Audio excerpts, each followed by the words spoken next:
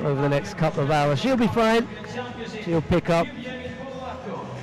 And she'll be back. So will Mayra Aguiar. We look forward to seeing that particular matchup. Right, but this particular matchup is between the Olympic champion from Beijing at under 100 kilos, Naidan Tuvshinbayar, and he faces Jevgenijs Borodavko of Latvia. We're underway with the final of the men's under 100 kilos.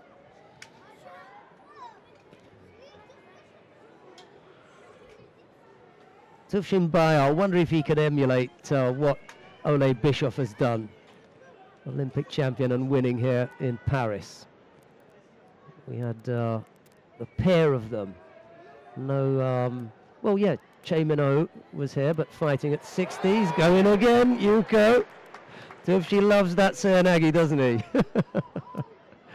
Choi Min-ho was uh, Olympic champion at 60, but moved up to 66, so he can't really uh, count him in. That's not his weight. That's not the weight category at which he won the Olympic Championships. Uchishiba's gone now. Uh, 73. We didn't have Mammadli Bischof was was here. 90. Tsirekidze. We didn't have, and even if we did, he would have been fighting up at 100. 100. So yeah, just the pair because Ishii's retired. So it was those two, Bischof and Tuvshinbayar, who've stayed at their weights, and both of them have made it to the final. We've already seen Bischof win gold. Tuvshinbayar is leading here by Yuko. Borodavko fighting out of his skin today. This is a great performance from the, the Latvian, really. Everybody around him has got some kind of uh, pedigree at the really, really top level. And uh, he's done really well to mix it in this kind of company.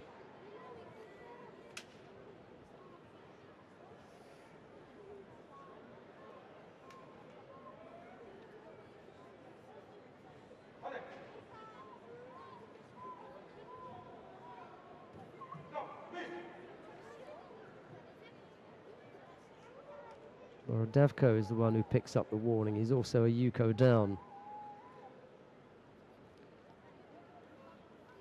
15th on the IJF World Ranking list. The Mongolian is uh, just a couple of places ahead of him, three places in fact, in actual fact, at 12.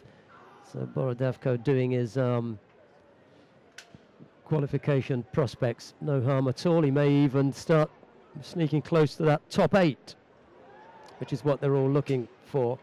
Naidan Tuvshinbayar, well, after this, he definitely will be.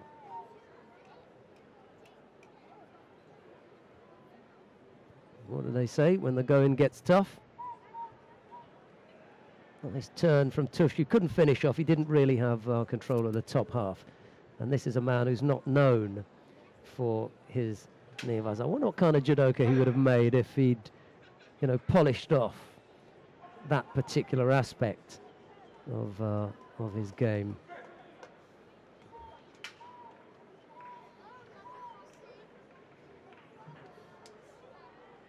On vous entend pas, merci. Est-ce que vous êtes là?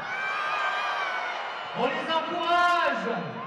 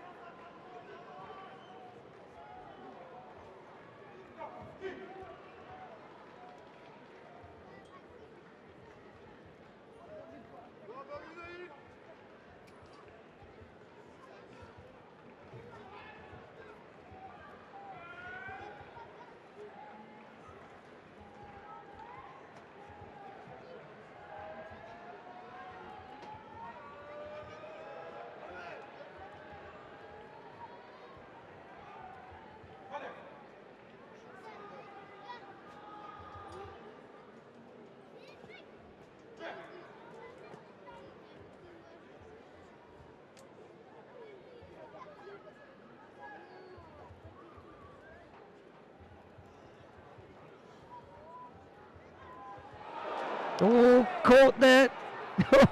He's thinking about it. Yuko still behind because uh, oh that was um, the referee was just thinking is he getting up that uh, gave Borodavko the benefit of the doubt of connecting his technique with that of Naidan Tuvshinbayar so that's the way that went. Naidan Tuvshinbayar still leading. Two to one. 20 odd seconds left to go.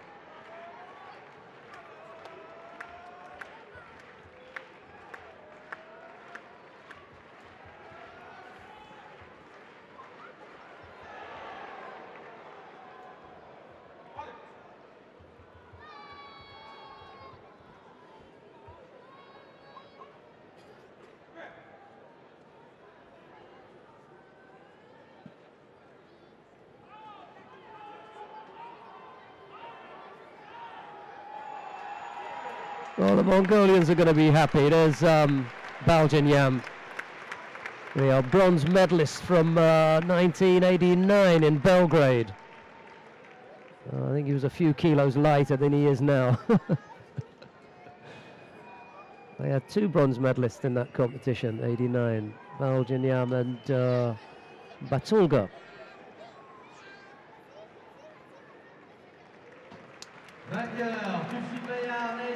Vainqueur, Tufsipaya Neidan, Mongolie.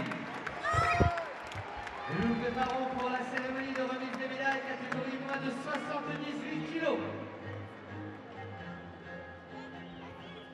Coming next, the award ceremony for women under 78 kilograms.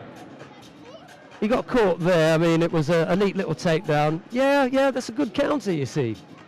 It wasn't all over, was it? Just because he went down. It's that left hand on the leg that really does it. He's cute, Tufshi. He knows how to um, he knows how to work his craft. Naidan Tuvshinbayar takes the gold medal. Ogata Akari of Japan. Just managing to see through a fringe. Audrey Tcheuméo of France. Kayla Harrison of the United States of America.